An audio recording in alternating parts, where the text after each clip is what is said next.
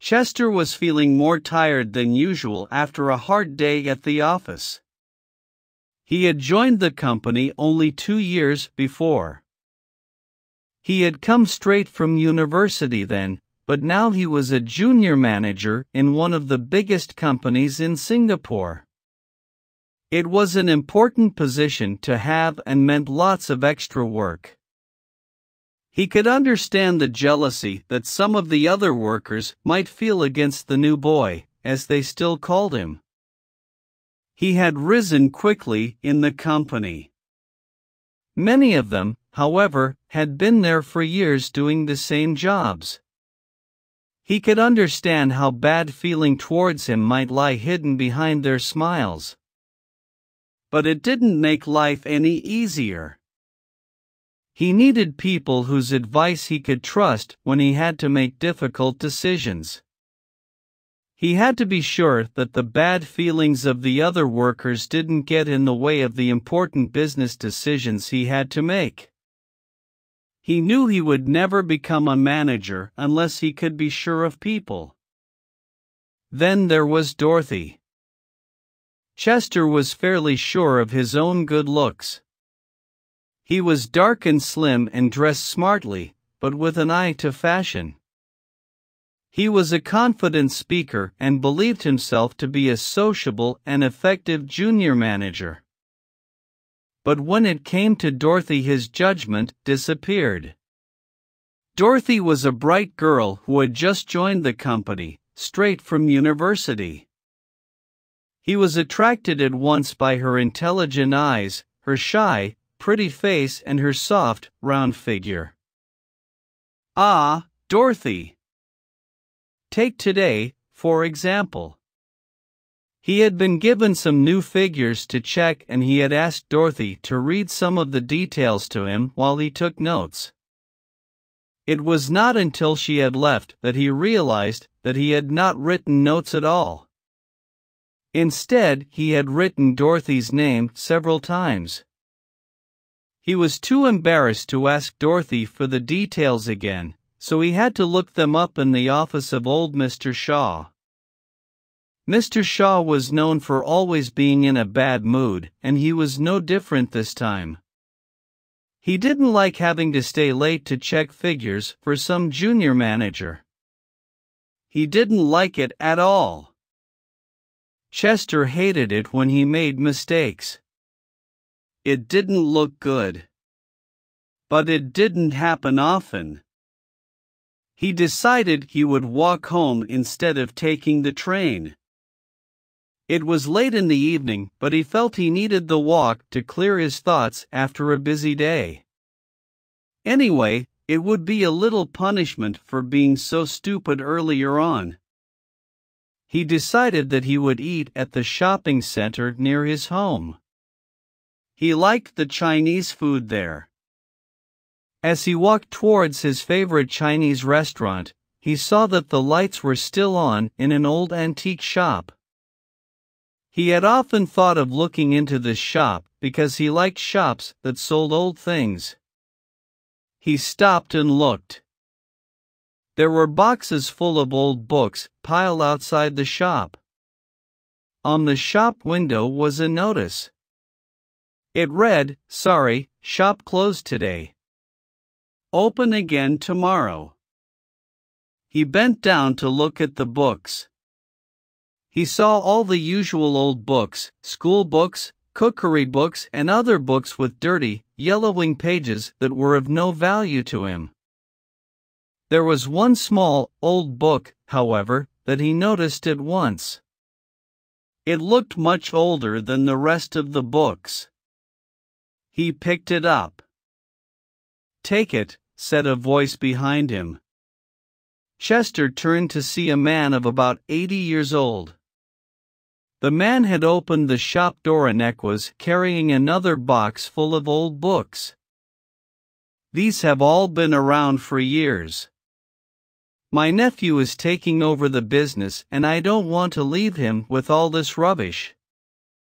Nobody wants to buy any of it, so take what you want, go on, help yourself. Thanks, said Chester as he put the old book into his jacket pocket and went on to the Chinese restaurant. Chester sat at his table drinking a beer. He had been looking forward to his chicken and rice. When it arrived, he found that the chicken had not been cooked properly. It was pink inside. He decided to complain and called the waiter. Sir, asked the waiter. Chester noticed that the waiter was new to the place. I'm not eating this, Chester told him. The chicken is pink inside, it hasn't been cooked properly. It's rare chicken, sir, the waiter said. Many of our customers prefer its finer taste. Chester looked straight at the waiter. He thought the waiter was not showing him enough respect. Really? answered Chester. It's very popular, sir, said the waiter. And I suppose the illness they caught from eating undercooked chicken was popular with them too, eh? said Chester. Other people in the restaurant could hear. He was annoyed. The waiter said nothing, but his face turned red. Please take this chicken back, Chester told the waiter, and give me a piece that has been cooked all the way through. Certainly, sir, said the waiter as he took the food and went back to the kitchen. While Chester was waiting for his meal to return, he remembered the little book in his pocket. He thought he would have a look at it while he was waiting. He took it out of his pocket and examined it. It was small enough to fit easily into his pocket and was covered with old, fine leather. He had to clean off some of the dirt in order to read the title on the cover. At first, the title seemed to be in another language with strange letters and shapes, but as he looked, they seemed to change into English. He closed his eyes tightly and opened them again. He was mistaken, of course. He must have been. When he looked again, the title of the book was there. It was still dirty, but it was clearly written in English. It read, The Book of Thoughts. It didn't say who wrote the book. Chester thought it must be one of those old books which offered advice about life. He felt disappointed. He tried to open the book, but it had an old metal lock which stopped him. Then suddenly the book seemed to open quite naturally at the middle pages.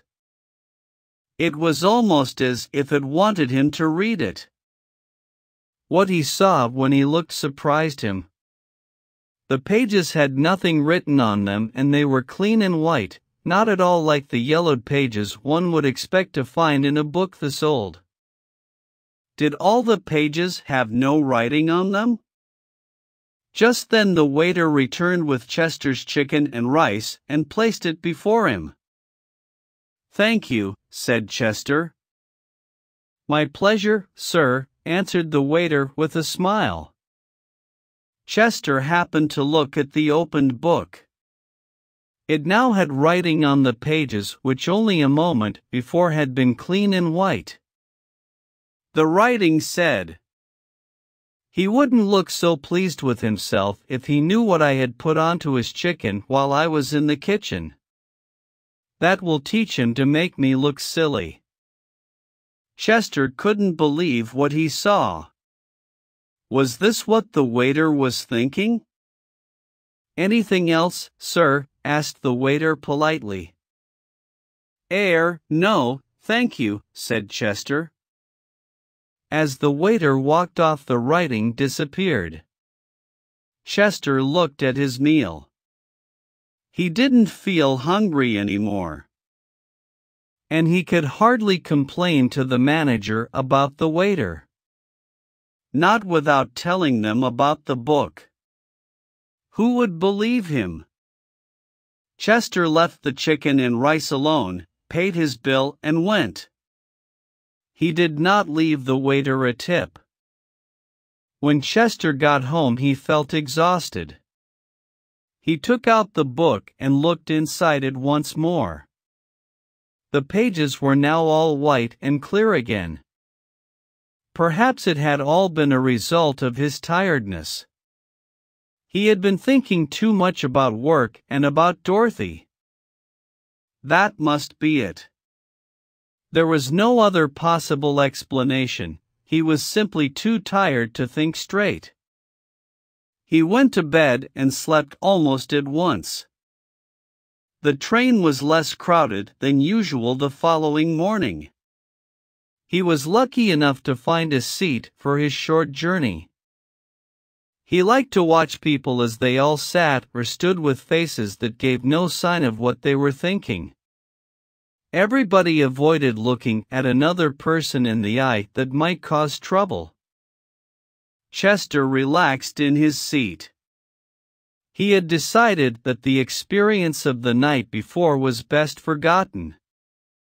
Whoever heard of a book that read thoughts? The whole idea was crazy. Then he remembered that he still had the book in his pocket. He ought to throw it away in the next rubbish bin. Yes, that's what he would do. Get rid of the stupid thing. He noticed that the woman who sat opposite was an attractive, smartly dressed middle aged lady. Her eyes looked down and her face showed nothing of her thoughts. Chester wondered what she was thinking. Should he look at the book? Perhaps just a little look would be fun. Where was the harm in it? He reached for the book in his pocket. He took it out. Go on, he said to himself, you might as well try out the book. Just for a laugh. Do it. He opened the book and almost at once words in clear black letters appeared on the white pages. The words read I've given the best years of my life to him. Bank managers have married their secretaries before now. He must decide today leave that awful wife and marry me, or I'll shoot him and myself dead. Chester saw that the woman's soft handbag had something in it that looked hard. Could it be a gun? He quickly shut the book and looked away. Next, he saw a tough looking man wearing a t shirt, showing his powerful arms. What was he thinking? Chester opened the book. It read I like chicken better than pork. Fried chicken is the best. Followed by chocolate ice cream, my favorite. Mum's a great cook, I love you, Mum. Chester couldn't help smiling at the man. The man saw him and gave him a dangerous look. Just then the train reached Chester's station. Time to get off the train. He closed die book and put it back into his pocket. As he walked the short distance to his office, his mind turned from the book to Dorothy. He had been thinking of asking her out to dinner. I'll do it today, he thought. But what if she hasn't thought about me in that way?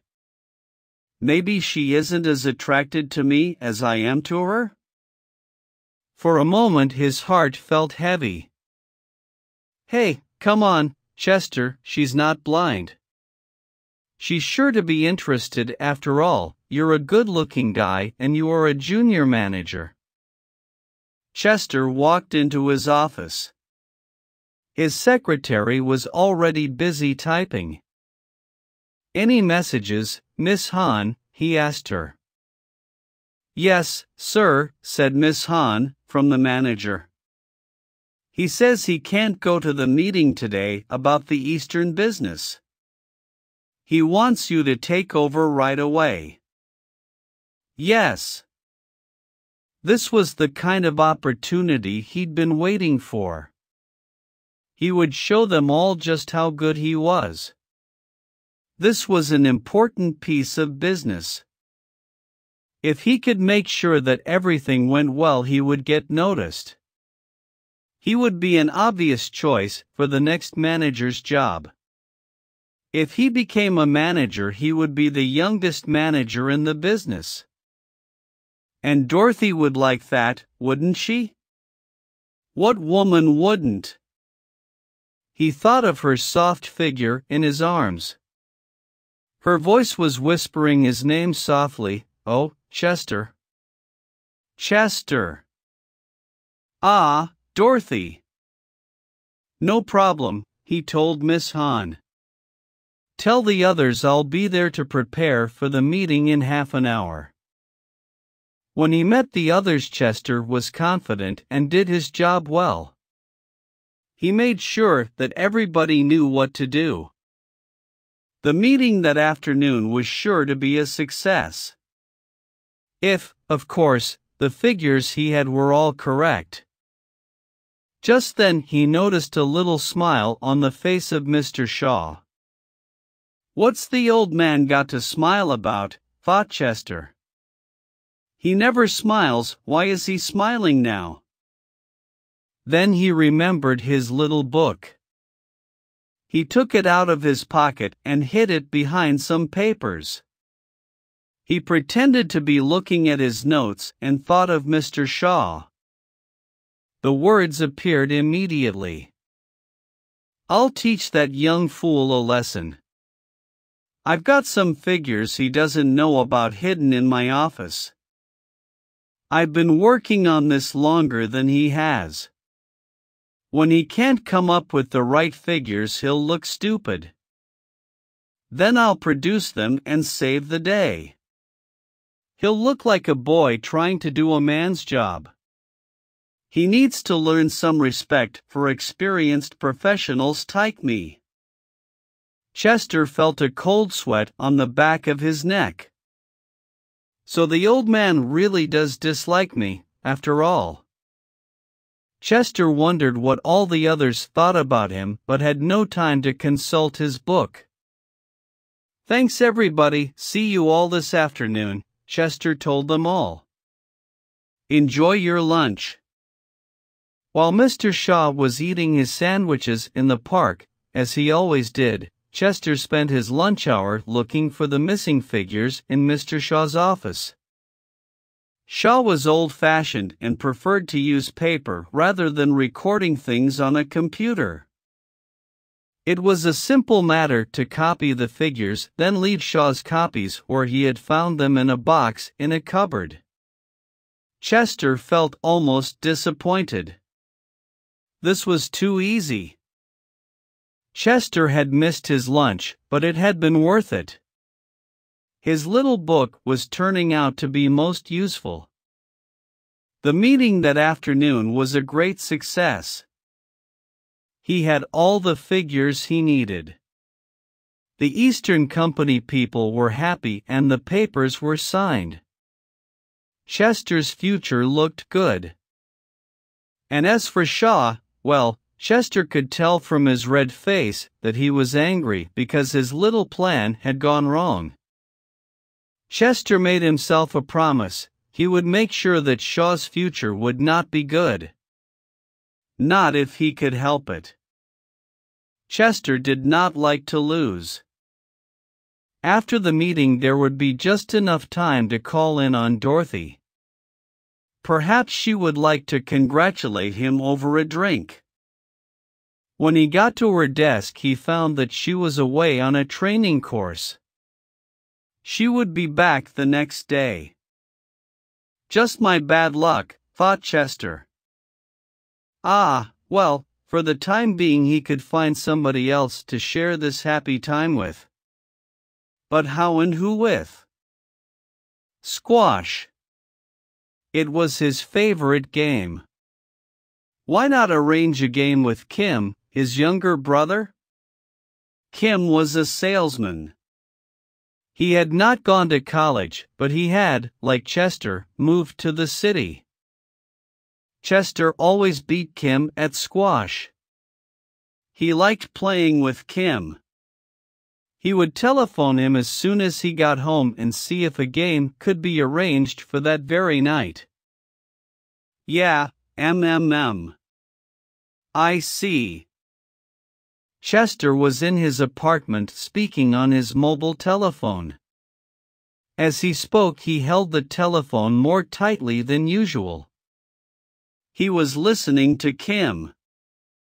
Kim was telling him that he had already promised to take his girlfriend to the cinema. As he spoke, Chester tried out the book to see if it would work over the telephone. It did. It read. I hate it when Chester and I play squash, he always wants to beat me. But he's always wanted to be a winner, at home, at school, it never stops, even when he has a career of his own. He never thinks of me, but then he never was much of a brother. He can do without his game this time. I'm staying home to watch television. Okay, Kim, said Chester, Enjoy the film. Yes, goodbye. Chester had never realized that his brother felt like that towards him. It came as a shock. He spent the evening watching television and drinking wine with a takeaway meal. At least, he thought, he would see Dorothy tomorrow.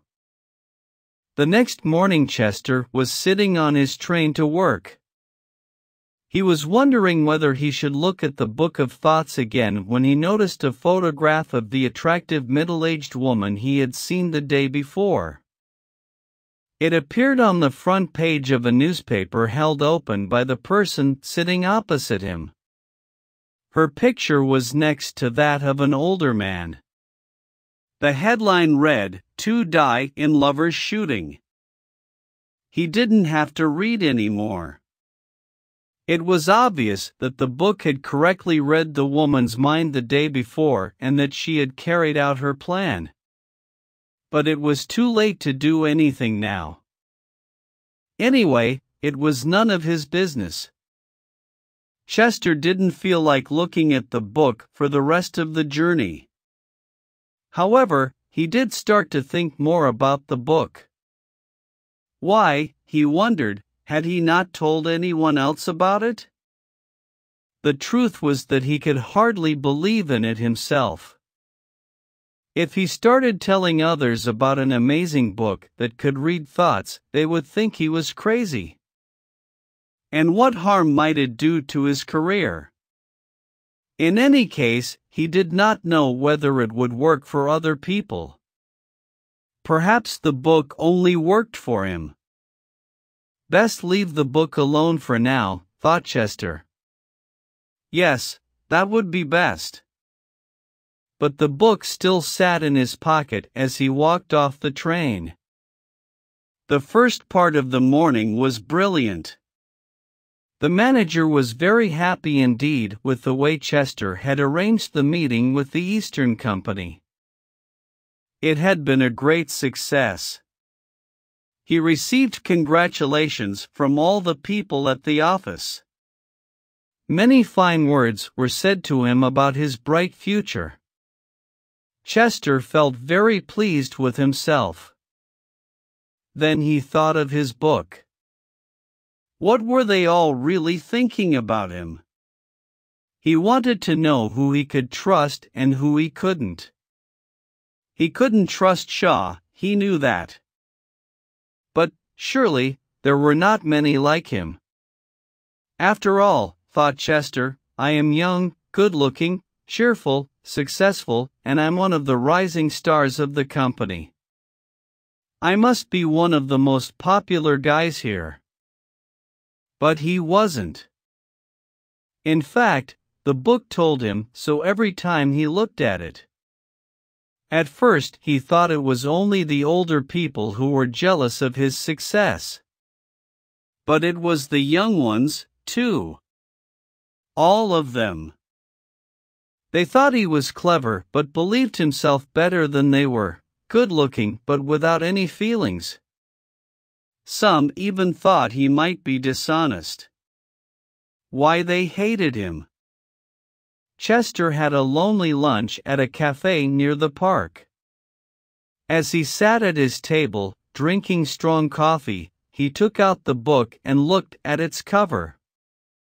He read it, the Book of Thoughts. He opened it. There was nothing there. Not a word. He wondered why it didn't show his own thoughts. Maybe it was because he already knew them. Maybe. But what if he asked it to show him his deepest thoughts, the ones he didn't realize he was thinking. Would it do that? Should he ask it? The idea frightened him. If thoughts were hidden, perhaps there was a good reason for it. Yet he still wanted to look. It was almost too much for him. I won't do it, he told himself. The last time I looked in the book, it told me things I wish I hadn't found out. No, I won't do it. Not yet. The cafe was becoming crowded, so Chester walked back to the office. Back to Dorothy. She would be back from her training course by now. He would see her and ask her to dinner. He was certain that she would not be like the other people in the office. His darling Dorothy. When Chester got back to the office, he saw Dorothy.